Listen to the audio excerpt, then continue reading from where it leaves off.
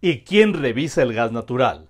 La explosión de una pipa de gasolina, cuyo conductor irresponsablemente intentó ganarle el paso al tren la tarde de ayer en la colonia México de esta capital, y el dantesco incendio que le siguió, deben derivar en una fuerte revisión a los ductos de gas natural que por kilómetros significan una verdadera bomba de tiempo bajo nuestros propios pies.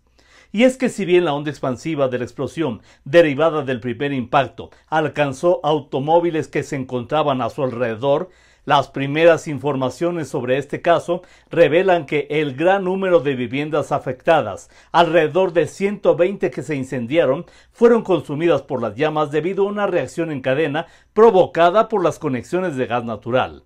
Testigos de los hechos narran que al incendiarse el ducto principal, el fuego corrió por el mismo, llegando a cada una de las casas de los abonados, incendiándolas al momento en una siniestra cadena de explosiones. ¿No se suponía que existían válvulas que cerraban de manera automática el suministro en caso de siniestro? Si las hay, no funcionaron o a qué distancia una de otra se encuentran como para haber ocurrido esta situación cuántos kilómetros de viviendas y negocios deben consumirse, cuántas calles o colonias ser afectadas antes que se active dicha protección.